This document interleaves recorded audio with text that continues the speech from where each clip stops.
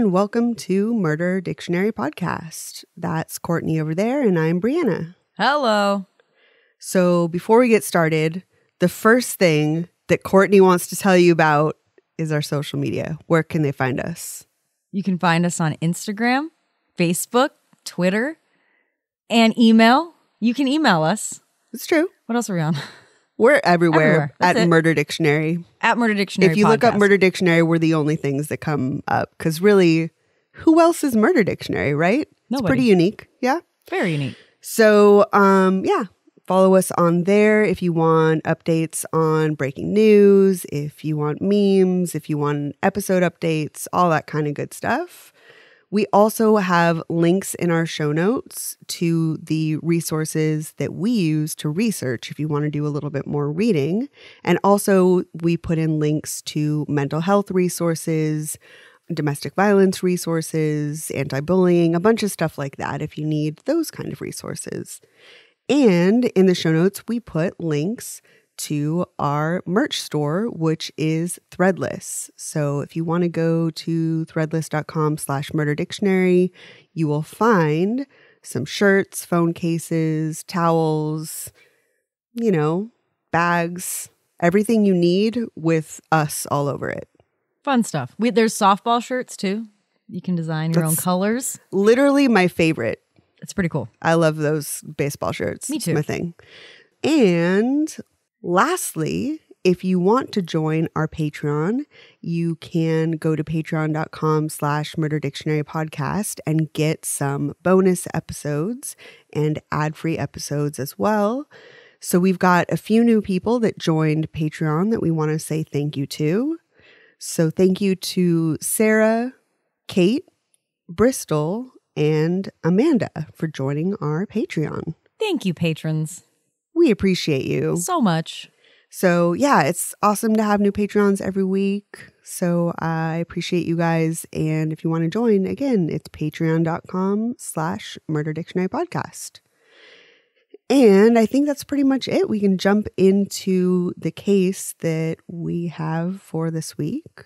We're still talking about musicians and music for letter M.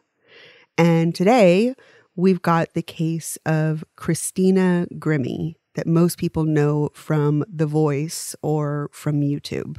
I always think she was on American Idol, but it's The Voice. Yes. This was like a season after I checked out of The Voice.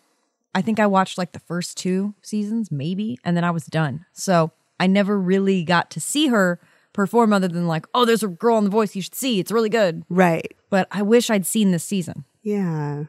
I watched clips of it later, but she's very good. So, Christina Victoria Grimmie was born on March twelfth, 1994, in Evesham Township, New Jersey. Her mom, Tina, was a receptionist, and her father, Albert, worked at Verizon. Her family had really strong Christian faith, and they attended Fellowship Alliance Chapel in Medford, New Jersey they were reportedly just very active in their church. And each of them individually like would display a lot of like faith and talk about god a lot. It was a very big part of their lives. At around 6 years old christina began showing a talent for singing.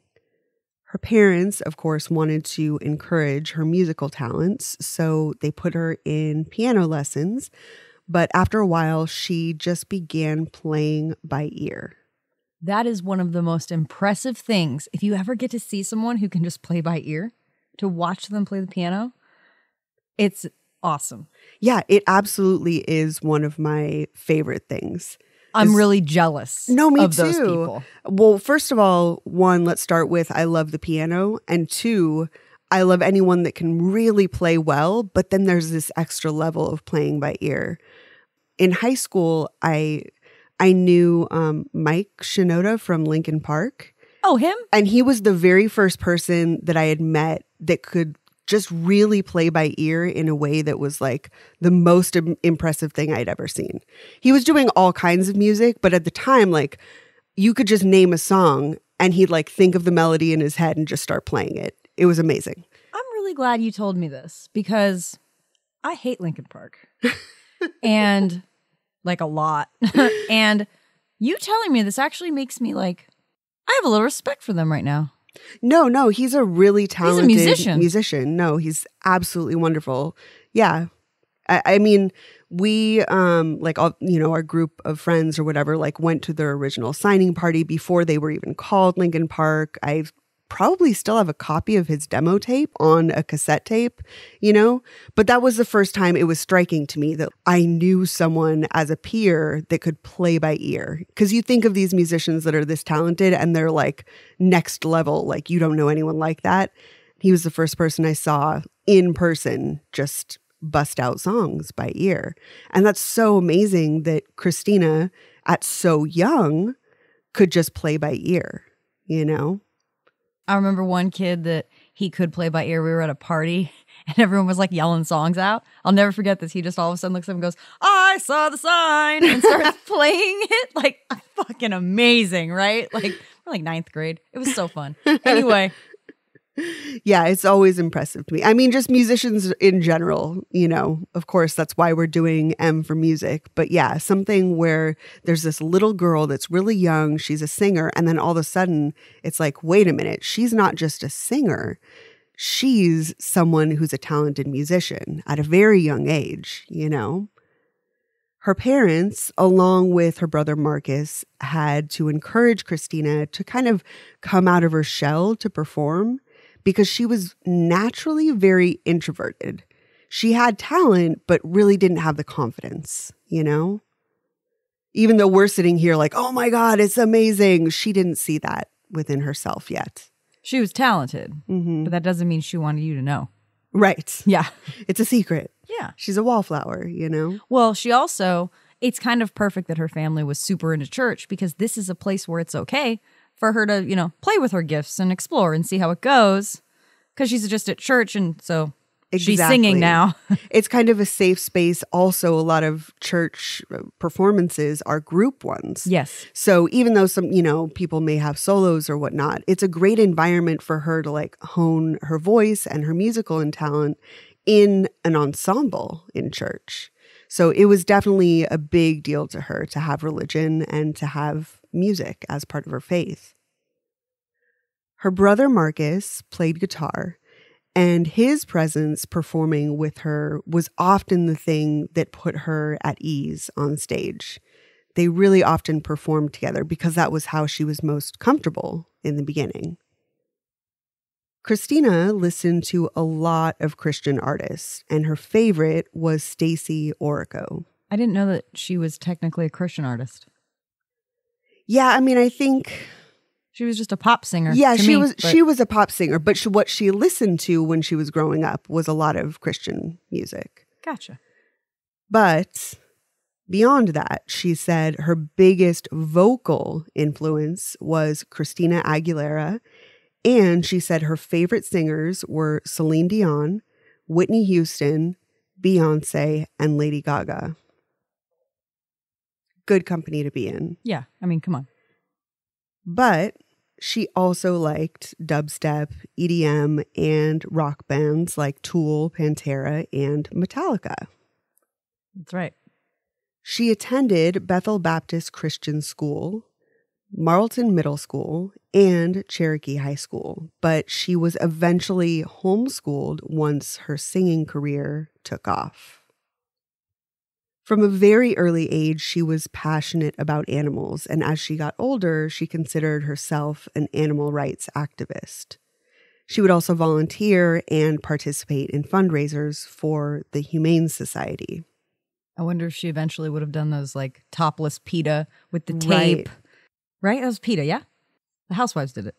Might have been glad. What am I thinking of? I'm pretty sure that was like the no H No hate. campaign and stuff like. But I I hear what you're saying because a lot of the PETA things do the no fur and they do naked campaigns. and then they dress all ridiculous with like feathers and they look like they're in a cage or something.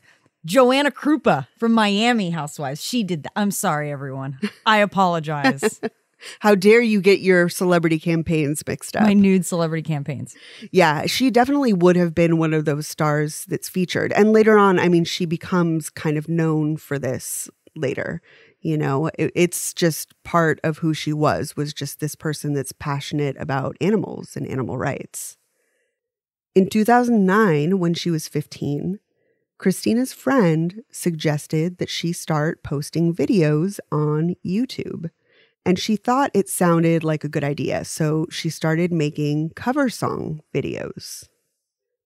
The first video that gained some traction was her version of Miley Cyrus's Party in the USA in August 2009.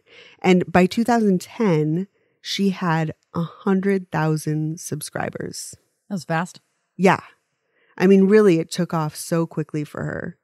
And might I say, Party in the USA, I don't believe in guilty pleasures. It's just one of my banger ass songs. I think it slaps. I love that song. I was sitting here like, do I share this? I love that song. Sorry, I just do. It's great. Yeah. Banger. Definitely. So Sorry, it's a I'm great, great song choice. And she was also known for that, like choosing really good songs to cover. And so that's why her videos were popular. People tuned in and they were like, oh, this is an interesting version of an awesome song I already like. You know what I mean? Yeah. It was her own spin on it, you know? It was great. Her cover of Nelly's Just a Dream with fellow YouTube star Sam Tsui quickly racked up also over a hundred million views. She was really just taking off. That's so many people. I know.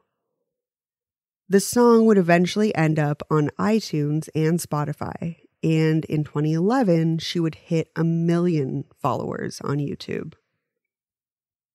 That year, she also competed in the My YouTube competition and almost won. But Selena Gomez took home the number one spot. It's a pretty awesome thing to say, though. I lost to Selena Gomez. Right. That's what I was thinking Yeah. is just like, I mean, if you're going to come in number two, obviously Selena Gomez has had some enduring star power. Like, yeah, that's a, you're number two, but you're number two to someone that's very popular. You're still number one. Right. so when this competition happened, Selena Gomez's parents, Mandy and Brian, took notice of Christina and they went on to become her managers. Christina joined the very first Digi Tour in 2011, which was created specifically to showcase YouTube artists. Afterwards, she went on to be the opening act for Selena Gomez, All Star Weekend, and the Jonas Brothers. So again, she's had this YouTube success, but in her own right, she's really starting to take off. If you're the opening act for these large artists, I mean, that's nothing to be ashamed of. I mean, that's a really pretty big accomplishment for someone who's a, a teenager, you know? Uh, securing opening acts for the Jonas Brothers and Selena Gomez at this time, you're good. Yeah. I mean, this is the golden era of those artists. I mean, they were at their peak. Yeah. Her first indie EP called Find Me came out on June 14th, 2011, and debuted at number 35 on the US Billboard charts. It's great for an unknown. Honestly, for a YouTube Crazy. artist, like, I mean, and this was years ago. I know YouTube is, you know, much more prominent today, but I mean, at the time, this is almost 10 years ago. That's a pretty big deal just on the strength of YouTube and opening for other acts. That's a pretty large leap onto the charts, you know? It really is, especially because people, like even 10 years ago, buying music was fading. Right. So even the fact that we have Billboard to talk about here, it's like the 60s and 70s, number one on Billboard, and that Right. meant something, right? right now, it's like, oh, Billboard. The kids are like, what the fuck is Billboard? Yeah. Right. Completely different game. Dick. Clark stuff. It's like old people shit, right? In early 2012, Christina decided to move to Los Angeles to advance her career, and she joined CAA agency. Another big move. Right, exactly. You have to kind of be somebody to be with CAA. When they moved to LA, it was an especially difficult time because her mother was on chemo for breast cancer, which her mom would battle multiple times. It was a really difficult move for them. to go through during this specific time. But they supported her and, you know, it was just the right move for her to career like to do so. But it was a big sacrifice for everyone. By 2013, her YouTube had more than 375 million views and 2 million subscribers. And she released her debut album called With Love. On her videos, she was very vocal about her love for video games, especially Zelda. She was a huge fan. People love Zelda. Oh, yeah. My cousin named her dog Zelda. It's a big deal. Yeah. She wore a crown at her wedding because of Zelda, I think it was too. Yeah, people are really into it. They had a Pokemon ball that they put the engagement rings in. Oh. Continue. Her and her brother were both such big fans of Zelda that they got matching tattoos that read Player One and Player Two. And he often toured with her, playing guitar and helping to manage her day to day activities. And again, this was one more thing that would just make her more comfortable and put her at ease. Her whole life, her brother was kind of that force for her. It helped her to be more comfortable on stage, and her family encouraged her to like come out of her shell. So having him there was very helpful while she was getting bigger stardom. Although YouTube was good exposure, she knew it could only get her so far, you know? And she'd have to explore other methods of getting her name out there. And she was doing really well, but it, I think, felt like she was kind of peaking at this time. You know, like she was, had this momentum and maybe plateaued and need to look for other avenues to really get more exposure. So in 2014, Christina made her debut trying out for season six of The Voice, and she sang Miley Cyrus's song Wrecking Ball for her audition. When she auditioned, all four coaches, Adam Levine, Usher, Shakira, and Blake Shelton, all turned their chairs around for her, and she chose to team up with Adam Levine. I was just showing Courtney a, a video of the voice from this week, and it's like, it's a huge deal to have a four chair turn because a lot of times you get one person, two people duking it out and being like, come to my team and blah, blah, blah. But when you see someone that's a four chair turn, it says a lot about how far they're most likely going to go in the competition. Because if they walk out and do their audition and they already have a great song choice, a great voice to match, and they're able to command the stage, it feels like they're already a little bit more seasoned and established, and the judges are like all in on them. You know, they It- all want them on their team. It's like when in Shark Tank they say, What kind of money you got in sales? And they're like, $7 million this year. And they're Right. like, We'd like to make a deal with you, Yes. right? You don't get the, for that reason, I'm out with Yeah. this person. Right.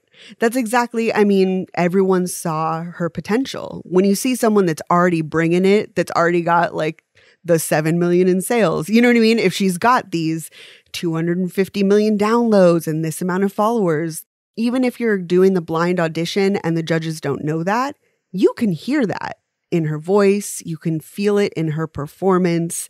You know that she's on pitch, doing the right runs, like everything that's needed to get far in the competition. So, yeah, it was a big deal for her to have a four chair turn. And it's a big deal just in the voice in general for all four uh, coaches to turn their chairs, you know? Yeah, if she's playing by ear, she's got perfect pitch. This is what we call turnkey. You put the key in, you turn it, it starts the engine. It's perfect. It runs.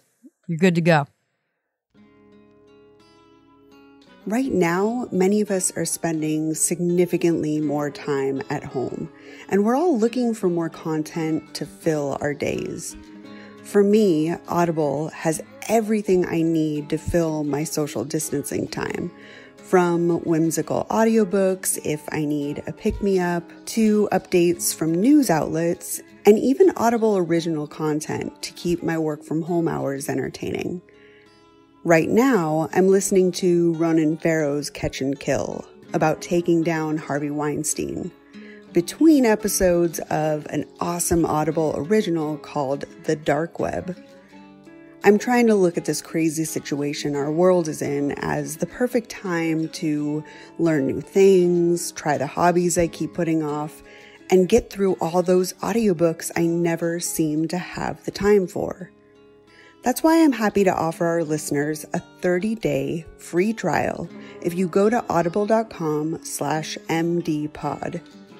If you've been thinking about signing up, now is the perfect time to get access to not only audiobooks, but all those Audible originals, podcasts, and daily news from outlets like New York Times and the Wall Street Journal.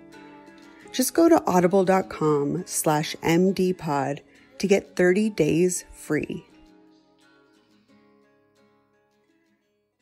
During her time on the show, Adam told Christina that she had the potential to be a quote, huge star because of her voice and stage presence. Usher called her baby Celine Dion, and Shakira described her high register as quote, out of this world. So every single one of them was just so impressed by her. I mean, she was one of the breakout competitors of this year. During the competition, her fellow contestants gravitated to her initially because many of them already recognized her from YouTube. You've got to think about all the contestants being in the music world and, you know, watching each other on YouTube and whatnot. A lot of people knew what a big deal she was coming in to the competition. She was only 17 at the time of filming, so she was really struggling with homesickness. And the stress of the competition made her a bit more introverted. People described Christina as very sweet and goofy, but definitely she had a quiet, serious side and, again, a focus on religion. She started to lead worships with her fellow contestants while they were all sequestered in the hotel going through the competition process from what I understand, I mean, they were in the hotel and couldn't really leave at all for weeks at a time, you know? They were just stuck there. And of course, Christina was just like, well, I can't get to church. So she just started making her own services. And other people that were religious just started joining in. It was kind of a cool, like, organic sort of faith group that emerged. That is know? pretty cool. It's like, you the know, original Sunday service, right? right? Not Yeah. asking for anything from anyone else, just doing what she believes in exactly. for the good of herself and others. Exactly. I mean, I think it's a very positive thing because people find so much solace and hope in their religion and their faith and their spirituality. So it's hard to go through this whole competition process. So I'm sure a lot of, you know, the contestants there really appreciated that someone was there, you know, speaking that sort of language and exploring those concepts and you know, maybe they could sing some sort of hymns together and like it just i don't know it feels very hopeful. You know religion may not be my thing but i can totally understand what a comfort and a help and sense of support that you get by doing this in a hotel like while waiting for the voice you know? So it was just something a lot of people remember it was very powerful her presence and her faith ultimately Christina finished third place, but host Carson Daly said that he was, quote, shocked that Christina didn't win. It seems like a, the general consensus, like people really thought she was going to take first. During the competition, her coach Adam said he'd want to sign her to his record label 222 Records. It might be 222. I don't know enough about Adam Levine, to be honest. It's fine.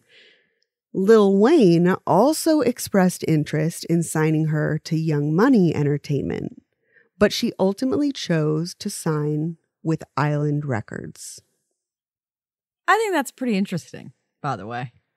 And also with the whole drama between like at this time, especially with Lil Wayne and Birdman and stuff with the label too. Right. It's very interesting to me that he's like, I'm gonna take on Christina Grimmie now. Like, wait, what? What what the hell's going on here?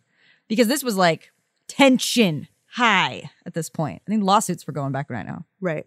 So Well, like, that may have been a factor in her not signing with them. well, yeah, But it is also interesting that these different style of artists were all appreciating her voice, saying that they wanted to bring her on the team. You know, I mean, there was a lot of people seeking her out and recognizing her talent. yeah, Once the media blackout of The Voice was over and she could resume making videos and interacting with fans, she started to feel more normal again.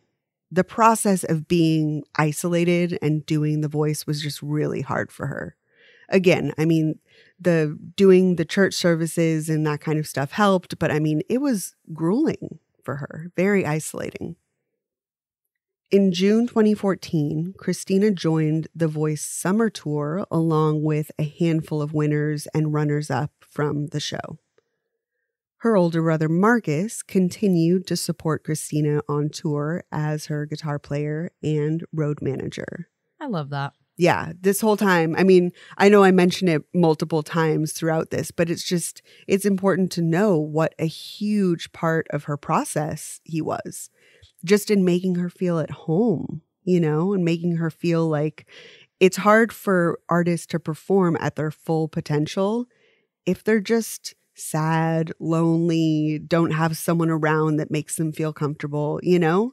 This is also when you see the uptick in drinking backstage. Exactly. You start taking drugs because you're just bored, and what else is there to do? I got to get through three nights of this. My back hurts. Let me take a pill. Right? That's how it starts. So this is where her brother comes in because it's like that's not going to happen when he's around telling her everything's okay. I love you. You're loved. Your fans love you. I'm here to support you. Just look at me on stage and you'll feel more comfortable, like trying to just pump her up.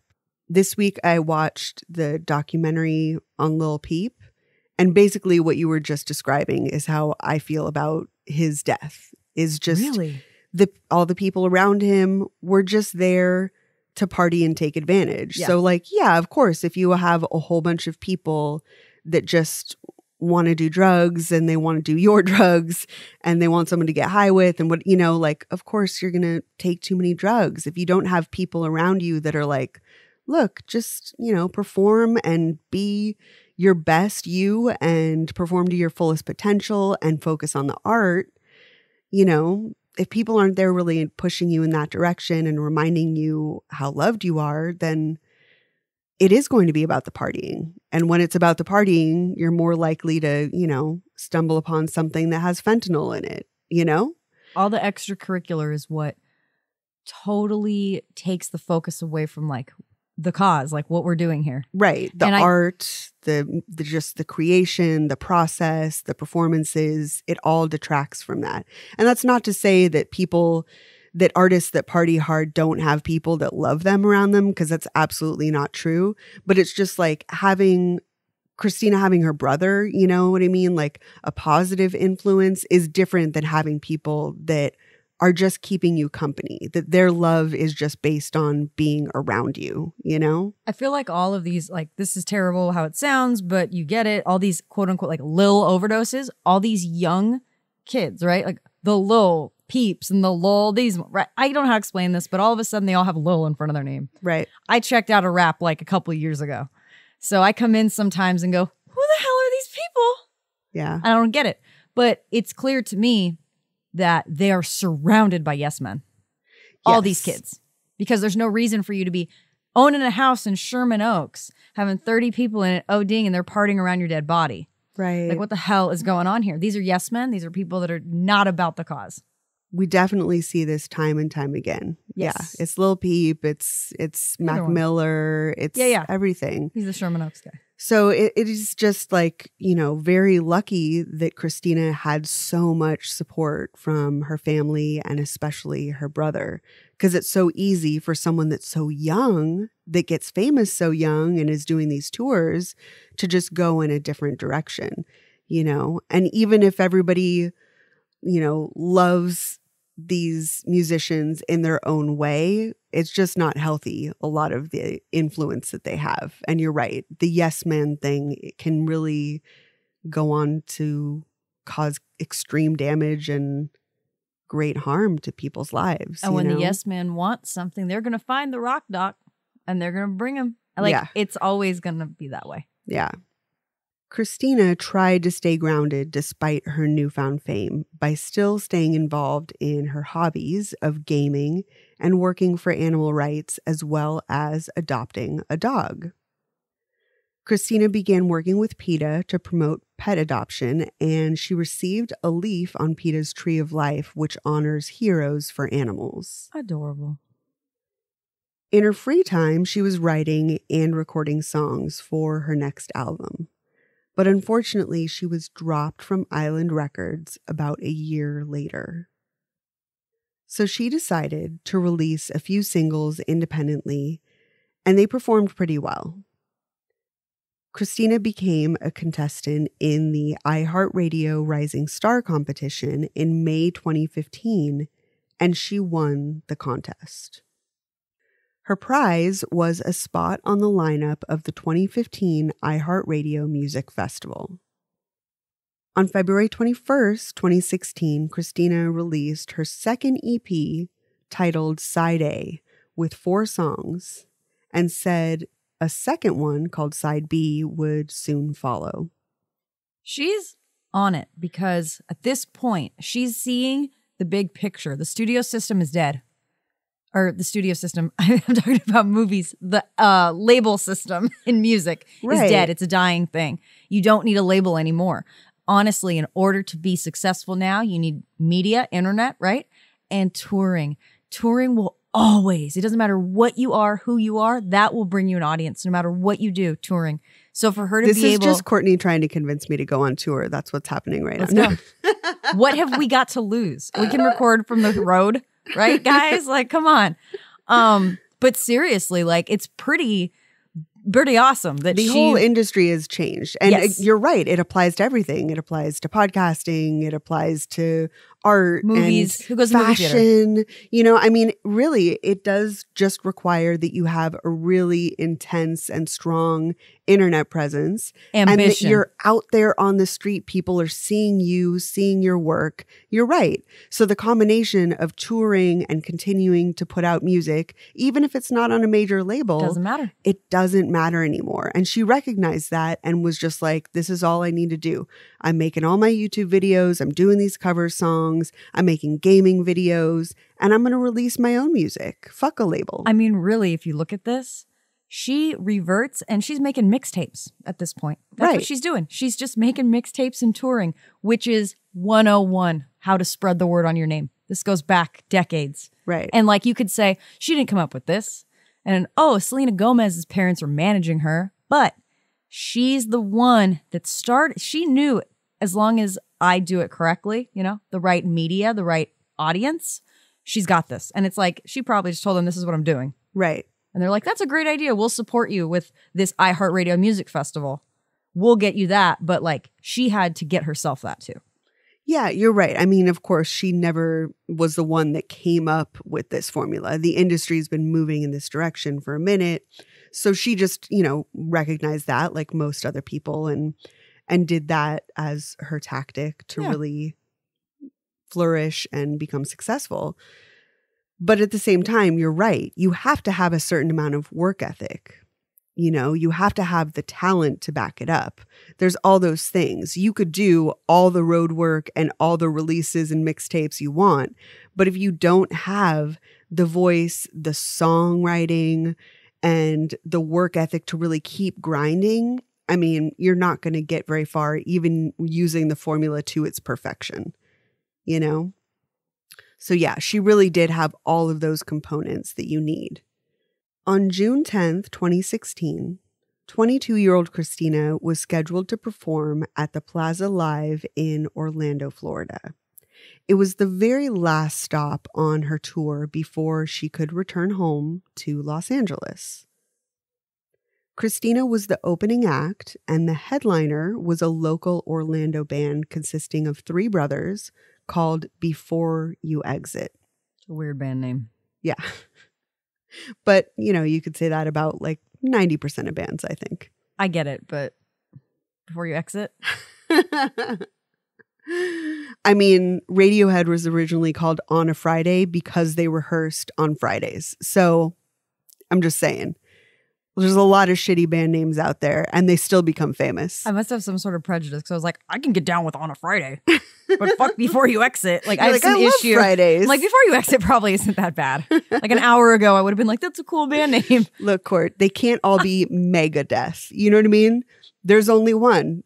Like, do, you, do you know what's the best? Is Dave Mustaine. He would pull into town and he they would be like, well, what is your name? And he'd be like, oh, well, my band is named Megadeth. And he would end up at like church groups explaining like Megadeth, right? And I just love that still. Megadeth, don't even start. It's homegirl. Oh, that's I met shit. I met Dave Mustaine on my 16th birthday. oh my God. I got tickets from my boyfriend at the time, from Reverend Kevin, who used to write a metal magazine review. Ooh. And so at the House of Blues, we stayed late. We got upstairs, and I got to meet Megadeth, Dave Mustaine, Dave Ellefson, all these fun things in That's the year amazing. 2000. but really, like, I mean, they can't all have the most like I know. badass names, you know? Like, there's a finite number, you know, of Fine. cool names out there. So before you exit, it is. And apparently they were pretty popular locally because they were an Orlando band. It was kind of a, a big draw, you know? this is why people hate me, is because I'm just like, oh, I like this name. 20 minutes later, we're like, they were all right. I met Megadeth. Continue. The venue is a mid sized theater that features acts that are kind of too popular for the bar circuit and those size venues, but not quite huge enough to fill a more substantial venue. You know, it's just, we all know there's just different kind of levels of venue. There's bands you see in bars, some you see at the Staples Center, you know, this Yes. one's in between. So, Palladium. Right, the Palladium. There you go. Yeah. Um so security did some light bag checks that night, but they did not have metal detectors, nor did they frisk the concert goers, which honestly is pretty usual as far as I'm concerned. My experience, I go to a shit ton of shows, and this is typical for mid-sized venues. I don't think this is anything out of the ordinary and I don't want to say like, oh, they dropped the ball because everyone else does metal detectors because they don't. There's it's no not ball true. to drop. Right. This Yeah. is just the way that the industry is. I mean, everywhere you go, House of Blues does the same sort of thing. You know, I mean, like anything. You just mentioned the Palladium, same sort of thing. Whatever it is, the observatory, these are all pretty substantial venues in Los Angeles that really just do a very cursory bag check. Maybe might pat you down, but a very light pat down. This isn't TSA, you know? Definitely not. Audience members remarked that security was very lax and mostly concerned with people not bringing in outside food or drinks. Which again is kind of typical. I feel like they want to see your bag, they want to see if you're dream- bringing in whatever, sneaking in some booze or some drugs or whatever, and that's it. You know? I've had people stop me for like medication, you know? Listeners know Courtney and I both have health issues. Like I've had people be like, okay, I need to see a prescription for this. I need to see your names on it, or even over the counter medication. They think that I filled the bottle with some other, like I just put fucking Molly in there or something, you know? That's what I always get stopped for. But oftentimes, that's what security is worried about. It doesn't feel like they're looking for weapons, it doesn't look like they're really assessing real threats. That's what I'm trying to point out. You know, they're looking for drinks and drugs. Correct. At 10 p.m., when the concert was over, Christina came out to do a meet and greet for about a 100 fans waiting inside of the venue.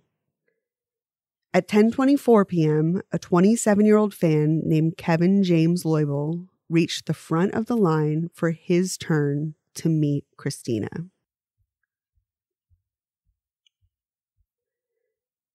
Kevin Loibl grew up in St. Petersburg, Florida, with mom Nora, dad Paul, and his brother Chris, who was a few years older than him. He came from a very abusive home. His mom, Nora, broke his brother's arm, threw dishes at the kids, and even hit the kids with a frying pan. Eek. It was horrific. That's not good. Socially, Kevin was an awkward, introverted child who became even more solitary as time went on. He had one friend named Corey Dennington who he'd known since he was 11, but otherwise, he just isolated in his bedroom and really didn't have any friends. He covered his windows in foil and blankets and often wore earplugs or headphones because he didn't like loud noises. And to me, this really speaks of trauma, you know, of just like the chaotic household, wanting just some peace and quiet, and knowing that there's just this craziness going on around him with the abuse. So, of course, he's easily startled, you know, like. Of course, I'd be terrified all the time and be startled by loud noises if someone hit me with a frying pan. Of course. It just makes sense. I feel like there's more to this though. Yes. That this is autism. You can't diagnose everybody with autism. So, but okay, so cut whatever you want. But here's the thing I know that in my experience, I've had people come up to me and say, Where do you keep ear protection? I have a son who has disabilities, and because of it, loud noises affect him differently.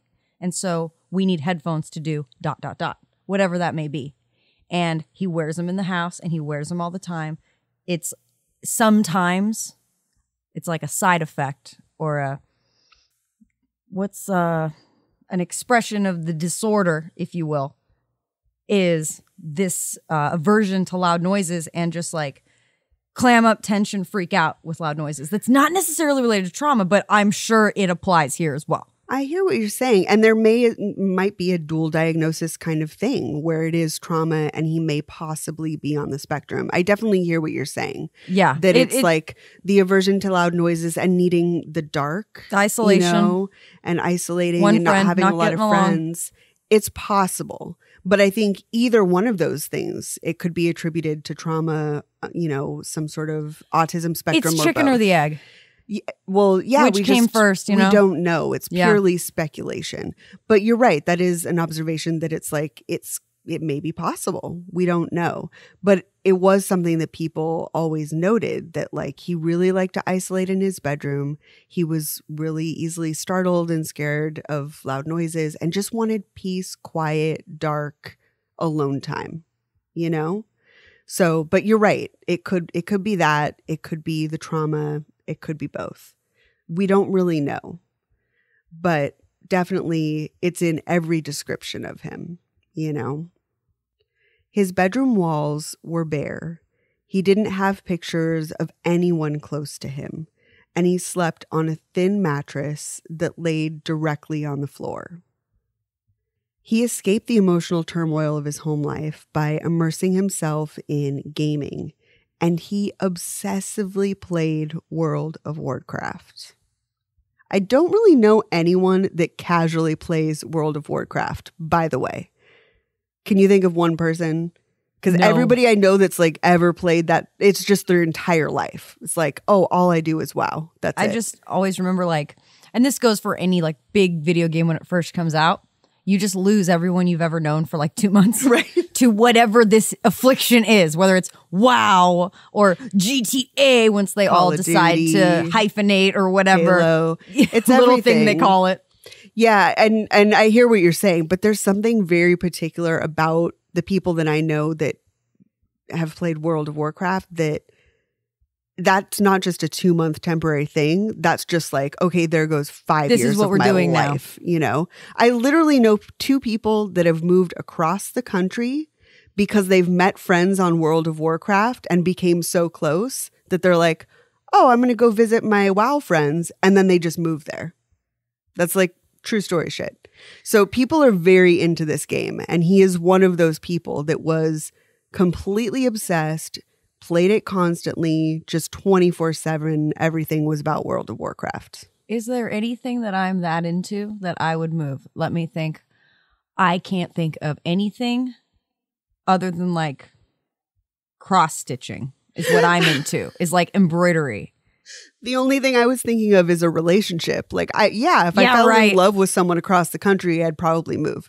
But at the same I live time, in Southern California. I'm not going anywhere. Please. but yeah, that's a, it is a big decision. That's hysterical. Two people? You know, my God. Okay.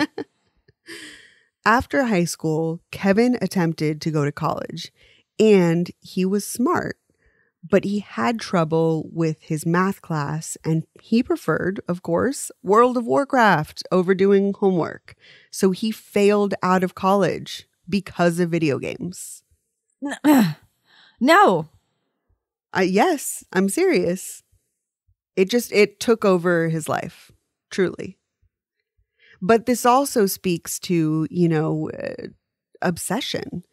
If you have an addictive obsessive personality, this kind of is a sign of that as well. So it could be World of Warcraft, you could attach yourself to something else, you could get into drugs, like whatever it is, I think this is kind of a first sign of him having a very obsessive, addictive personality. Like if he got into Point Break, for example, would he have like start, you know, would he be a surfer or would he have been a bank robber or a skydiver? Right. He's into these things. Yes. When college didn't work out, his best slash only friend, Corey, helped him get a job on the Geek Squad at Best Buy in 2008. Seems like a good match, right? It's a great match. His supervisor at Best Buy described him as detached and socially awkward with no social skills. In 2010, the situation at the Loibl home got particularly bad, and in a heated argument, 21 year old Kevin told his mother to, quote, go ahead and do it when she was talking about killing herself. Ooh, It was, yeah, it was really, really dark time. it's not what you're supposed to say when someone says that. especially because a short while later, Nora did die of taking an overdose of aspirin. And Kevin, of course, blamed himself for her death because of that conversation. That's rough. It it was really awful. Even if you're a person who's like firing on all cylinders, you got a full time job, you got, you know, you, you fought it all together. If that happens to you, like you're spiraling. There's no way you can, you can, a very healthy, well-adjusted person would completely fall apart if they went through this. So knowing that he already struggles so much to just maintain some sort of normalcy and a part-time job and you know, it's very hard for him. So then going through this, I mean, he's just out of his mind. I mean, his world is shattered. A short while later, when his father began dating someone new, Kevin became extremely upset.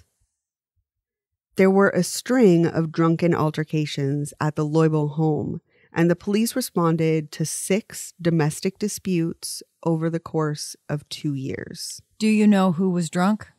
Were they all drunk? All of them. All three. So this is a And drunken. in varying states. You know what I mean? So, like, you know, over the course of six calls, one time it may be Kevin, one time it may be the dad, one time it may be both, one time it may be the new girlfriend. Got you it. know, it was really a variation.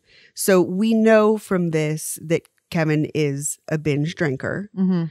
We also know that, you know, drinking runs in his family, that this is a very emotional time, but it wasn't a case where every single time it's Kevin's fault and Kevin's drunk. No, and it, it seems like this is a family that they probably have a history of fighting. It's just Mhm. one of those families. You know, there's just families that like they just throw down.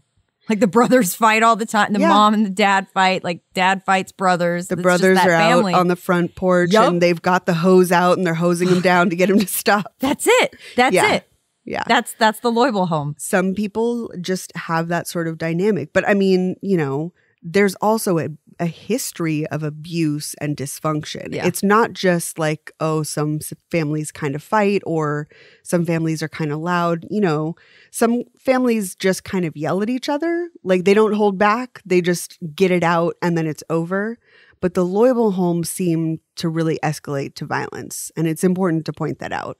They weren't just yelling and fighting, it was a really unstable, violent home. He was not safe. The fights were all between different combinations of people, including Kevin, his dad, and the new girlfriend.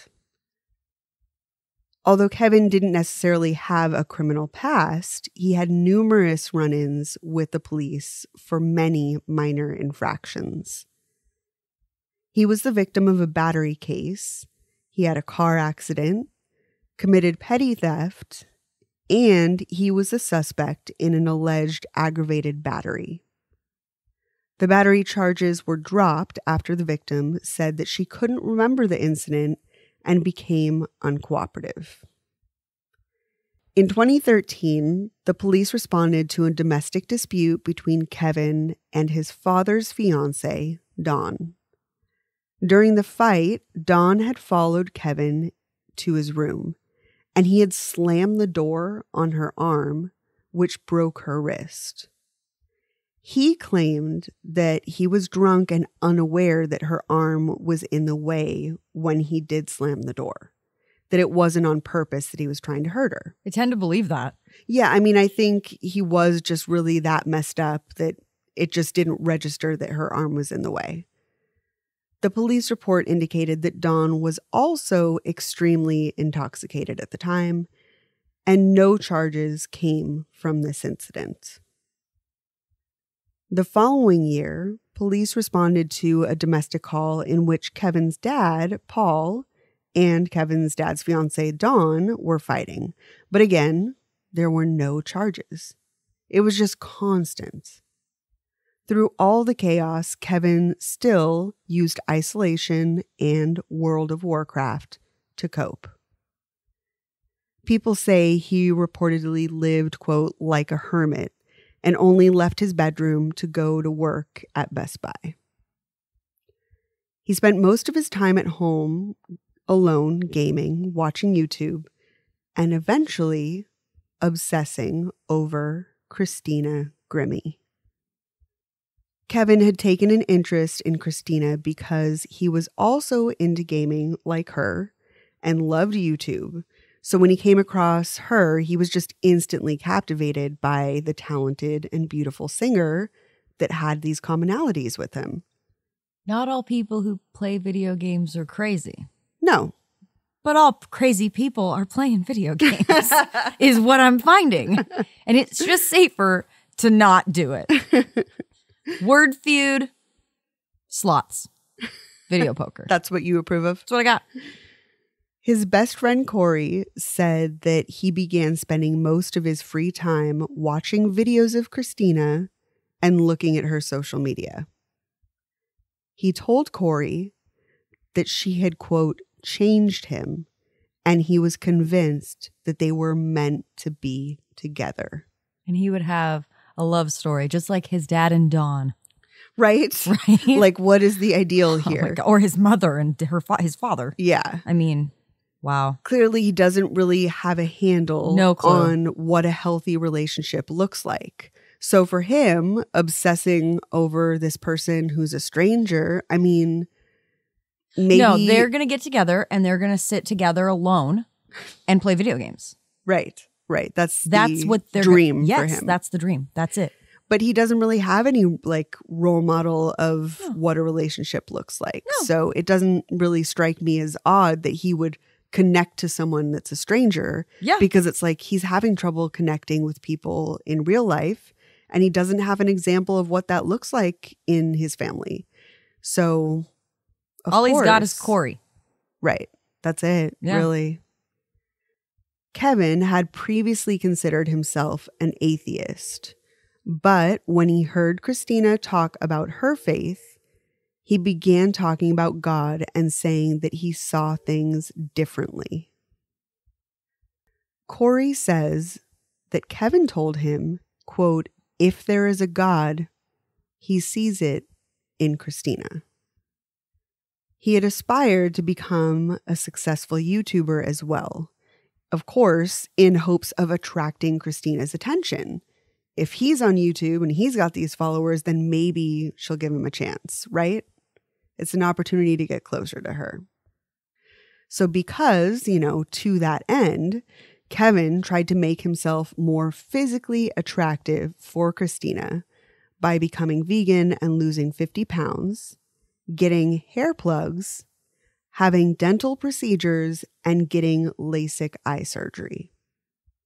He hoped that these physical changes would help him be a more successful YouTuber so he could eventually meet his goal of getting Christina's attention.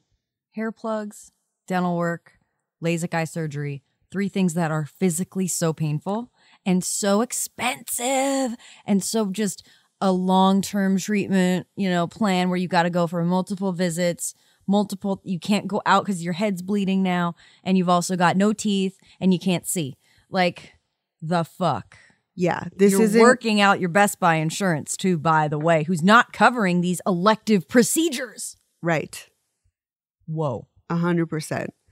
Correct. Yes, it's a lot. I mean, it's one thing for him to be like, okay, I'm going to get a haircut. Maybe I'll lose some weight or something. But no, he's really trying to completely reshape himself to become a person that he thinks is going to be more visually appealing on YouTube. Somebody's telling him constantly that he's ugly, by the way. He's taking that information in. Nothing else sticks. That sticks. I am unattractive. She won't want me.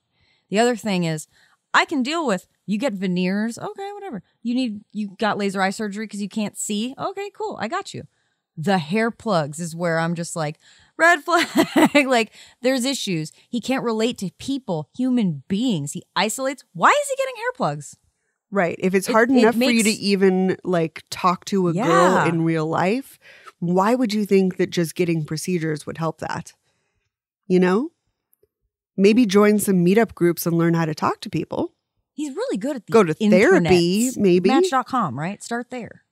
There's online therapy. I mean, Women, Jesus. some look dig bald guys, dude. Come on, right? Yeah.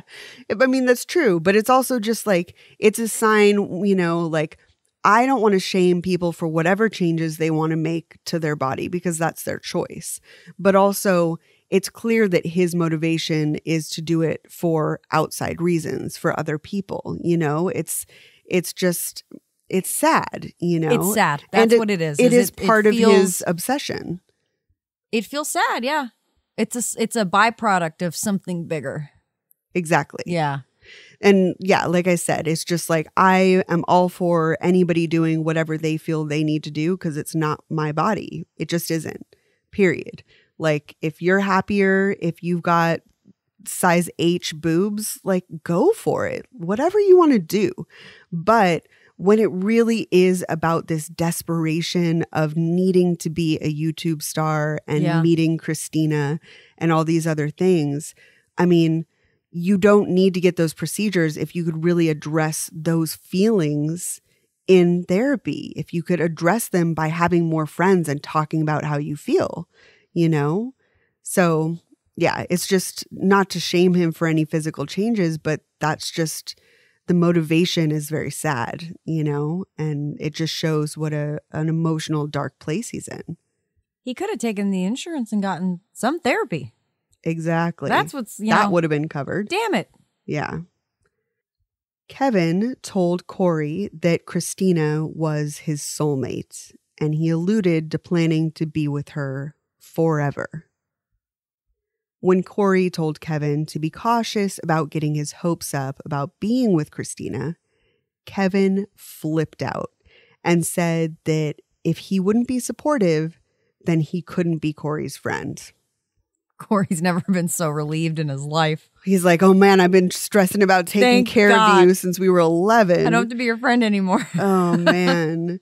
I mean, it's just, yeah, it's, he's trying to really set him up. He's not even saying anything terrible. He's just saying, be realistic. yeah. I'm not saying no, it can't happen. I'm just saying, like, just stay grounded, be realistic, do the best, be the best you that you can be, and maybe you'll meet someone, Maybe don't make a rash decision. right? Just continue doing what you're doing. Right. He was trying to be supportive by, you know, making sure that he stayed tethered to reality. You could be supportive by saying, yeah, sure, you're going to marry Christina, but that's not most likely not the truth. So he's trying to be supportive by just being realistic, which is hard to do. I mean, it does. I personally, it takes guts to like kind of say something difficult Yeah. to your friend and say, just slow your roll, be realistic about this. Like it could be great or it could not. We don't know. Yeah. So that's a difficult conversation, and Kevin did not take it well. By 2016, his supervisor at Best Buy had moved him to only working in the back room where he wouldn't have to interact with customers. Oh yeah. Something something went down. There was a there were multiple incidences for sure. Incidents. Yeah. Incidents yes. on the HR report, no doubt. While working in the back room, coworkers said that Kevin would often be listening to Christina or watching her videos on his phone. Coworkers had noticed that he seemed obsessive and would get defensive when asked about Christina. Although Corey and his coworkers knew about his infatuation with Christina Grimmie, Kevin's father Paul and brother Chris did not know anything about his obsession with the singer. He never told them anything. He came home, he sat in a chair, closed the door, sat in the chair, put his headphones on, and played games. That's it. He didn't speak to anyone, he didn't interact. And side note, this is like the millionth case where the coworkers, the people that are catching on about the obsession to someone who either isn't real, is a celebrity, or is unattainable, and the coworkers are the ones who have all the information and are coming together and saying, "Hey, did you hear this? Hey, he did this to me." And they're putting the stories together going, "There is a problem with him." And I'm I swear like it sounds crazy, but if you work somewhere and you're noticing and you're all comparing notes, say something. You, Right. you really never know. This is not the first time we've heard this. Oh, yeah. It really And happens sorry, I just No, it's true. We always say if you see something, say something. you've got a group of like 10 people. It- But- I mean, the Ninja Killer, right? Right. All the kids at the movie theater knew. Um Dimebag, they all everybody, you know, knew about this guy's obsession. It's just and the anger and the feelings behind it. They all know. But it because it's a celebrity, it, it's never going to happen, right? yeah, it's just really like you need to watch out for these signs. Obsessions. if someone's obsessed and unstable and exhibiting certain things, if you have to move someone to the night shift, you shouldn't be gossiping about it around the water cooler. There should be some real sort of intervention. You know what I mean? Or one of those people needs to go, "Hey, I, I got to tell somebody about this." Like Right. bigger than what you think it is. Exactly. And I know that people, it's hard. People really want to keep to themselves and say, it's none of my business. He's just different. And I don't, you know, there's also an element of like, well, you don't want to be super judgy and just be like, everyone that's different, we got to report. But use your logic. You know when an obsession has become this level of so unhealthy that someone's in danger. No one wants to be the heavy. But Right. sometimes you got to say some shit sometimes. that it, just- it could really prevent violence. It could save someone's life. That's what it comes down to. and if you're wrong later, you can be like, remember when I thought Kevin was going to kill that girl? Oh my God. funny. I was out of my mind. Or what, you know, but whatever. Yeah, it's just, it is definitely a situation where so many people noticed that something was wrong, but nothing was done. And again, Again. I'll always bring it up. It's just like people need to be in therapy. Like there's plenty of times that coworkers or Corey or the family could have been like, we notice you're struggling. Let's get you to talk to someone, you know, like we support you. I'll go sit in the waiting room while you go have an appointment. You know, just it doesn't have to be like, oh, I'm going to the police right this second and telling them you're obsessed with the pop star. Yeah, like no. that's not what we're talking about. But when you see something going on with someone, encourage them to get help. You know, the help and the resources are out there, period. So, it- you know, even though they're difficult conversations to have, this conversation where the coworkers talk to him instead of each other could have saved lives. You know, that's what it comes down to. Geek Squad could have been the detective squad. Exactly. Shit. It's Mattress Firm's semi-annual sale. Right now, save up to $400 on our top-rated brands, like a Sealy Queen mattress that's now $399.99. Plus, take home a free adjustable base when you spend 699. At Mattress Firm, we make it easy to find the right bed for you. So hurry and visit mattressfirm.com or a store near you to save today. Your budget stretches further at Mattress Firm. Offer valid with qualifying purchase. Restrictions apply. Valid at participating locations only. For offer details, visit mattressfirm.com slash sale. It's Mattress Firm's semi-annual sale. Right now, save up to $400 on our top-rated brands, like a Sealy Queen mattress that's now $399.99. Plus, take home a free adjustable base when you spend 699. At Mattress Firm, we make it easy to find the right bed for you. So hurry and visit mattressfirm.com or a store near you to save today. Your budget stretches further at Mattress Firm. Offer valid with qualifying purchase. Restrictions apply. Valid at participating locations only. For offer details, visit mattressfirm.com slash sale. Several weeks before the Plaza Live show in Orlando, Kevin went to two gun shops in St. Petersburg on May 25th and June 1st and attempted to purchase two handguns. After a five day waiting period, he was able to legally buy two 9mm Glock handguns.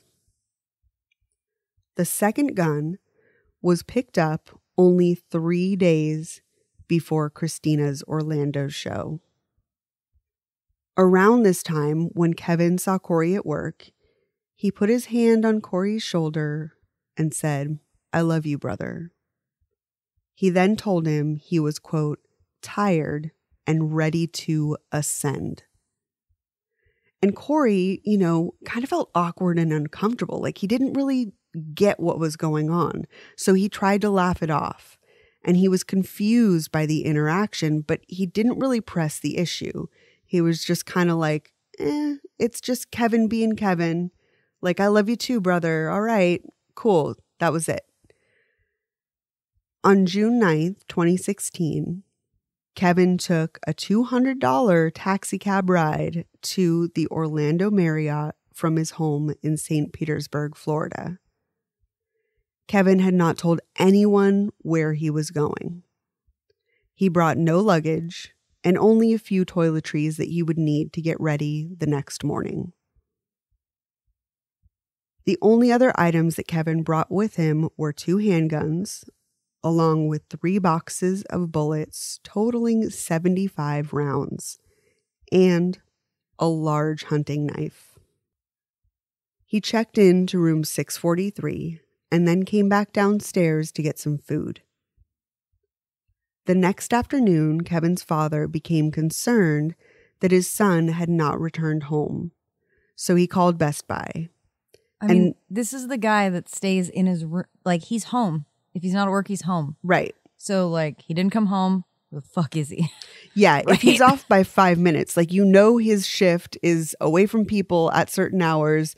Like if he's five minutes off, like this is his routine, something's wrong. Immediately it's a red flag. The employees at Best Buy told Paul that Kevin was not at work. It had only been one day, and he was trying not to panic, but he was concerned about his son. It was definitely you know, red flags going off just because this was not normal at all. A few hours later, Kevin attended Christina's show and stayed afterwards for the meet and greet. While fans were waiting for the stars to come out for autographs, Kevin leaned against the wall with his hands in his pockets of his black jeans. He pulled his black baseball cap down and nervously adjusted his red flannel shirt while he was waiting. Witnesses described Kevin as, quote, nervous and kinda creepy. What the other fans didn't know was that he was carrying two loaded guns concealed in his jeans and a large tactical knife strapped to his left ankle. When Kevin reached the front of the line, Christina immediately opened her arms to give him a hug. While she was preparing to embrace him, Kevin pulled out a 9mm Glock pistol and fired five shots at almost point blank range. Christina was hit three times once in the head and twice in the chest. People began panicking and running in all directions since some saw what had happened and others had no idea where the shots were coming from. I mean, it was just chaos. There was even this group of people that believed that there were balloons popping because it was the end of the show and there were earlier some balloons being popped while they were cleaning up the venue. So some people were just not startled at all, while others knew immediately, like, we're in danger. I wouldn't even like, I've thought this before in large groups of people or something, just standing there, and my brain goes terrible places. Like, what if something happened right now? I mean, I uh, I can't even imagine. Like, and all these shootings that we've had recently, like the mass shootings, and like we know people now who we have been at these the Vegas shootings, the Calabasas or Agoura Hills shootings. You know, we know these people, and it's like I can't even imagine what goes through your brain, and then to be like, oh, it's balloons, and to think that you were totally fine and just standing there and like could you know, oh, so many things, and she's just Right. standing there ready to hug her fans, Exactly. It's so devastating senseless. that she was just so open and wanting to connect with her fans. And her first instinct was just, I hug every fan that comes up. But this one was just a dangerous person. She just didn't know. And all the other people around were just caught there in the confusion. It's just terrifying. As people were attempting to flee, Christina's brother Marcus tackled Kevin, and then the two men began to scuffle. Kevin broke free. He ran towards the wall in a panic and then pulled out a second gun. He put the gun to his head, pulled the trigger, and killed himself. Meanwhile, Christina was on the ground bleeding from the head, and a few people rushed to her side. Several others called 911 to report the shooting, and they told the 911 operators about the chaotic scene.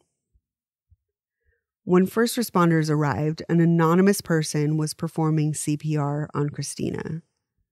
Kevin was on the floor with an apparent self inflicted gunshot wound to the head, and he was pronounced dead at the scene. Christina, on the other hand, was treated by paramedics and rushed via ambulance to Orlando Regional Medical Center. She was in critical condition when she arrived, and doctors attempted to save her, but Christina Grimmie was pronounced dead at 10:59 p.m. Many celebrities expressed their heartbreak and condolences on social media, or they dedicated performances to her, like Adam Levine, Justin Bieber, Demi Lovato, 21 Pilots, Blake Shelton, and a bunch more. The CEO of YouTube expressed shock and heartbreak, and the YouTube website paid tribute to her. Many of her fellow YouTubers also made tribute videos for Christina. When the news broke, a couple people who were Best Buy coworkers said they instantly feared that Kevin might be involved. This is what I'm talking about. How they don't even know. Like they might be on their day off, right? And they're just hanging out and they just see on the news, oh, Christina Grimmie's been shot. And they're just immediately, where's Kevin? This is someone that should have said, you know, like, okay, you knew the fact that if there's violence, you already put him with this, there's bigger things going on. You know, if you know somebody who, for example, if you hear Eddie Van Halen has been injured, you're like, oh my God, where's Tom? We have bigger issues here. Tom should have been talked about much sooner. Exactly.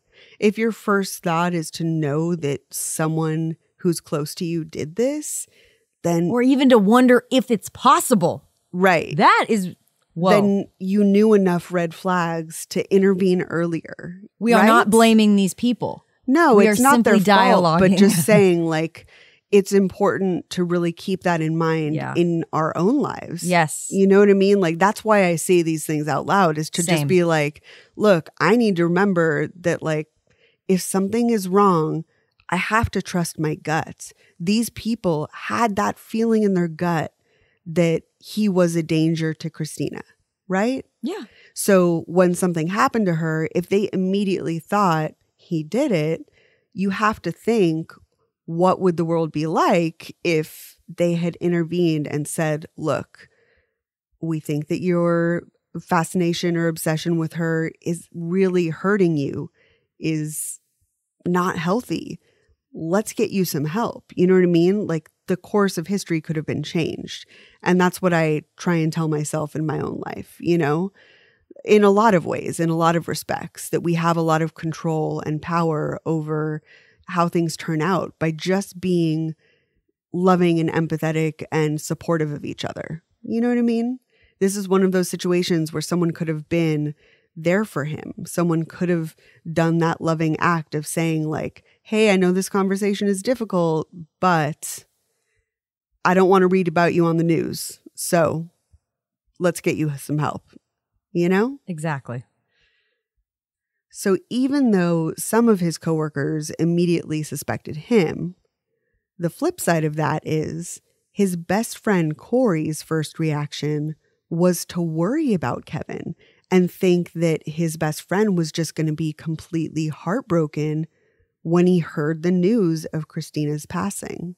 Makes me question his sanity, but it also makes me think that he really, like his sanity that he's taken care of Kevin since they were 11 and is just worried that he's going to be heartbroken. But then it also makes me think that he really just did not think of him as a threat. Right. At he all. really believed that he wasn't that kind of fan. person. Yeah. Because he was so close to him, it's like, yeah, I see how it's unhealthy or obsessive, but I don't see him having that kind of character that's violent, you know? I think it says more that, you know, about their relationship and that he believed and trusted his friend was a good person, you know? Yeah. Detectives went to St. Petersburg to investigate Kevin Loibl and search his home and devices for more information about his motive. Kevin's phone had been encrypted, which prevented police from getting any information. And he had destroyed the hard drive of his computer before heading to Orlando. It was only through interviewing people that, that knew him that detectives were able to determine that Kevin had a quote, unhealthy and unrealistic infatuation with Christina. Even though his friends and coworkers knew about Kevin's obsession, his father and brother, again, said that he never talked to them about Christina. They had no idea. His family was also not aware that Kevin had bought guns or that he made any plans to travel to Orlando. So, again, I mean, the people that are the closest to him or that know the most about him are probably his coworkers. He's not talking to his family. They really know nothing. He's shut them out. He's completely separated from them. He doesn't seem to like them, No. honestly. And like there's clearly no interaction in the household.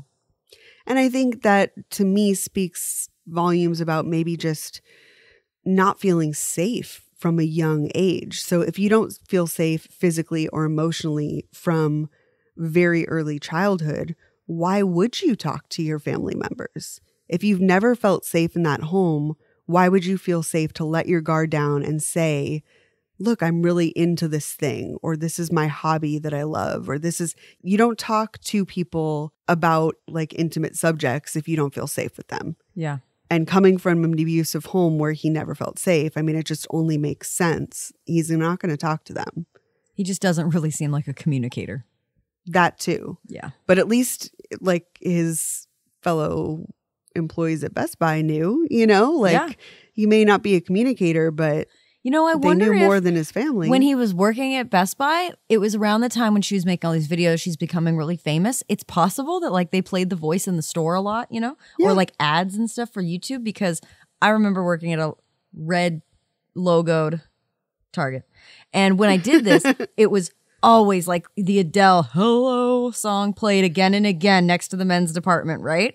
And it was like, oh, okay, the voice whether, of an angel. whether I want to hear it or not, here I am, right? right. And so maybe it's like he would hear and it would start a conversation, and that's how they knew uh, because he doesn't seem like a talkative guy. So somebody opens the door, or something opens the door to this discussion.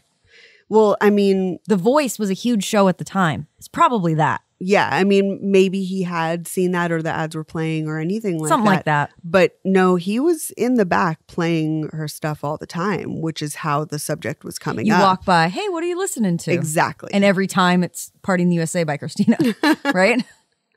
Yeah, I mean, that seemed to be the case. And he was a little bit guarded about it too. People would say, like, he would sometimes get defensive and he felt like people were judging him. You could tell that kind of stuff. He didn't really want to talk about it. He'd say it was Christina, but then that was where it ended, you know? But um people knew. They knew. The very next day after Christina was murdered, the Pulse nightclub shooting happened. And it was only about four miles away from where she was shot. The news cycle immediately was just taken over by the Pulse tragedy and trying to just make sense of these 49 people that lost their lives in this mass shooting It's so bizarre. it's so close the So timing close. it's ev- it's so unbelievable christina's murder was largely overshadowed and forgotten in the wake of this mass shooting since you know the pulse tragedy was so shocking and heartbreaking that you know the event claimed so many lives that nobody was really talking about the one person that died the night before you know and it, it's you know it's hard to just be like, oh, one thing is more important than the other. But it's just important to point out a lot of people don't remember even Or about Christina's passing go- because immediately nobody was talking about it. you sit back and you're like, wait a minute. Yeah, I do remember that. Like, okay, that happened, but wait, why wasn't that a bigger story? You know what I mean? Like, wait, why don't I know more about that? And then you find out, oh, okay, it's like September 11th. You know, anything that happened on the 10th, we don't remember. This is, I mean, really my first thought when I started looking at this case was I so vividly remember that this happened and also know nothing about it. Same, exact same here. because it was just like, yes, this thing happened, but then the very next day, the entire focus was shifted somewhere else and somewhere that was, I mean, deeply emotionally Rightfully so. disturbing to me. And of course, that was all I could think about was Pulse, you know, um, and being an attack on the community that I'm a part of. I mean, it was just heartbreaking and devastating. But I knew that the Christina Grimmie murder had happened. I just knew nothing about it because nobody was reporting on it. Once she passed away and then Pulse happened, that was kind of the end of talking about Christina. So, yeah, this was an opportunity to really look into her life and and really, yeah, get to know her a little bit better. On June 11th, Christina's manager created a GoFundMe to help the Grimmie family pay for funeral expenses. Although the goal was $4,000, the GoFundMe ended up raising over $170,000 in just two days. That's amazing to me. It's a lot. The family held a private funeral on June 16th, and she was buried at Berlin Cemetery. On June 17th, a public memorial was held in Medford, New Jersey, for thousands of Christina's friends and fans.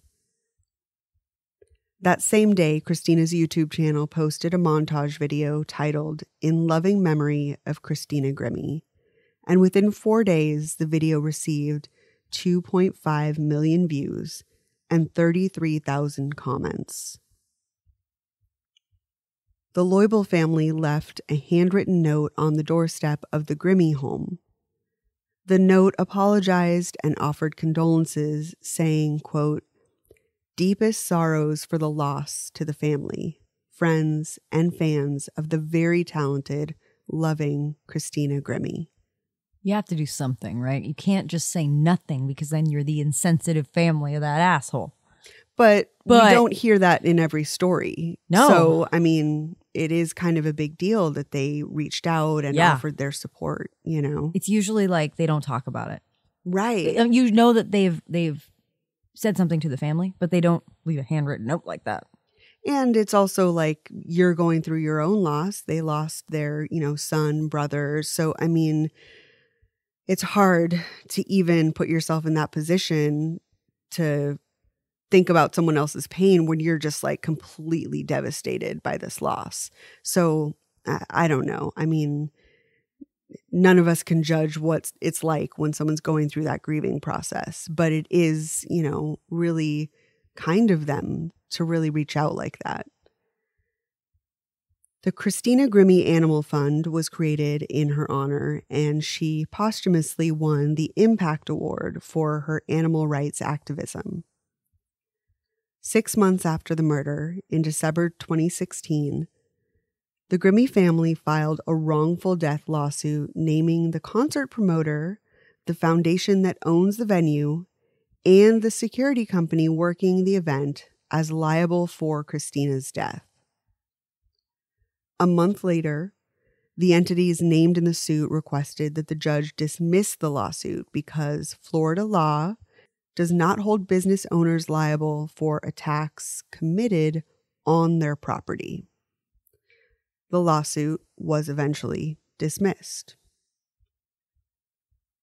On April 9th, 2018, the Grimmie family filed a new lawsuit, which the judge allowed to move forward.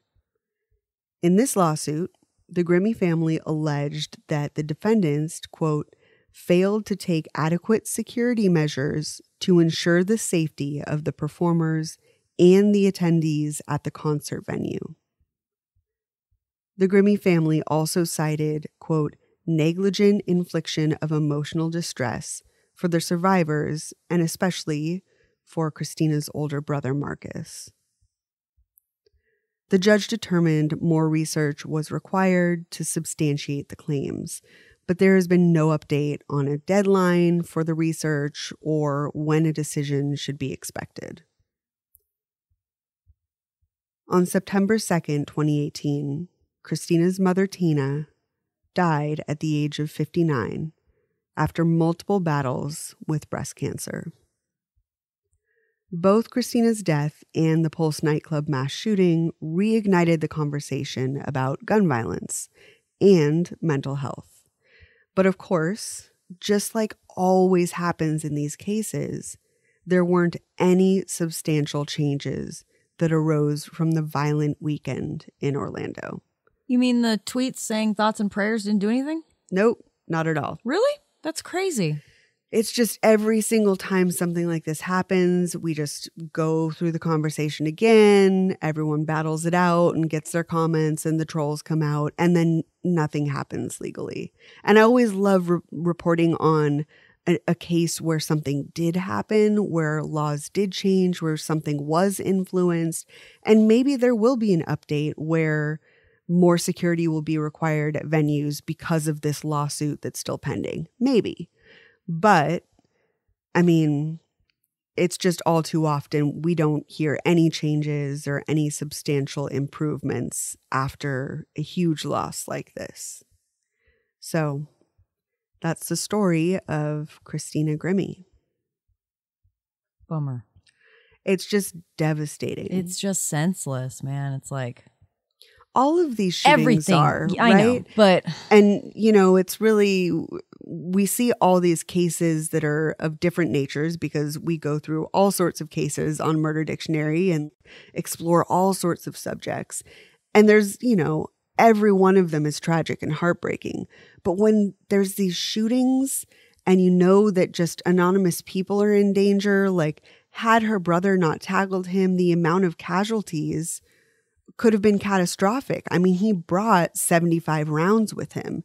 Had there not been, you know, a, a, person that could jump in and overpower him and really get everyone safe right away, there would have been way more loss that day. And so it's just, I just think of these sort of shootings, these anonymous things, these mass shootings as just the ultimate, just baffling tragedies. You know, it doesn't make any sense to me. And obsession in general, too. Like, if you love someone, right, you're obsessed with them, like, it doesn't make sense. There's so, it's so hard for me to understand the psychology of this, you know? The ones too where it's like you're paying to go see someone you like. You enjoy this. So why do you want to inflict pain and anger on something you enjoy? Right. Like save that for people you hate, right?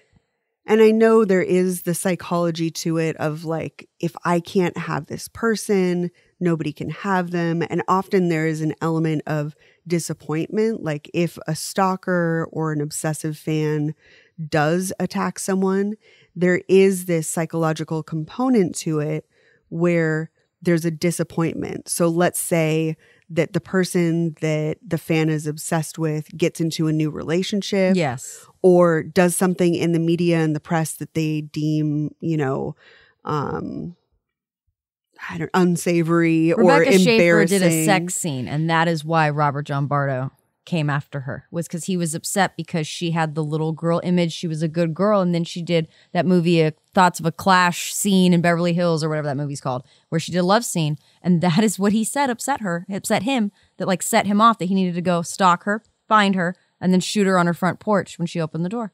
This is the perfect example. thing. That's often what the psychology is Yeah. behind this. But because he had erased his, or, you know, ru- ruined, completely Yeah. destroyed his computer and phone, I mean, we really have no insight into this. But it's safe to assume that the psychology of these sort of attacks is usually based on disappointment and hurt and like holding them up on this pedestal and then having that kind of crumble. There's got to be something that happened that we'll never know that he felt like, oh, well, whatever. And, you know, of course, women are held to some completely ridiculous standards. So it could have been something as silly as like she posted a shot of her in a bikini on one of her YouTube videos or something, you know, like Yeah. something completely innocuous that just doesn't matter. And this obsessed fan took that as just an embarrassment or a slight on her clean image. You know, whatever it was, something happened that he just felt like that's done. She was over in his eyes. Yeah.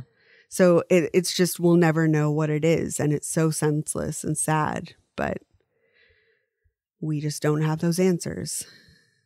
So that's Christina Grimmie, M for music on Murder Bummer, Dictionary. man. Just such a bummer. I know. I'm, I'm super bummed out. All right, we need to get snacks or something that'll make us perk Right. up. Because we need some cheering up after yeah, this. What a bummer. So, yeah, before we get out of here, uh, if you want to follow us on Facebook, Instagram, and Twitter, which is a great place to cheer up because we do have a ton of memes. That's true. We do have a pretty fun and funny social media presence. So, definitely check us out uh, Murder Dictionary, Facebook, Instagram, and Twitter. If you want merch, check out our Threadless, and the links for that and our Patreon are in the show notes, along with our research material and some links for mental health and all sorts of stuff. So if you see your coworker and you're like, I need to recommend therapy, check out the links in our show notes. Maybe you should talk to someone, dude. Yeah. Maybe, you know, it's just an idea. And before we get out of here, we just want to say thank you to the new patrons on our Patreon Sarah, Kate, Bristol, and Amanda. Thank you. So if you want to be on our Patreon, patreon.com slash murder dictionary podcast, you will get bonus episodes and ad-free episodes and just extra content on there. So check it out in the link in our show notes if you want to join. And I think with that, we can get out of here and go get some comfort food and cheer ourselves up. Cheesy, crunchy, salty. Yes. That's what I need. Most definitely. All right. We'll see you next week with another case. We hope you have a good one and thanks for listening. See ya. Bye.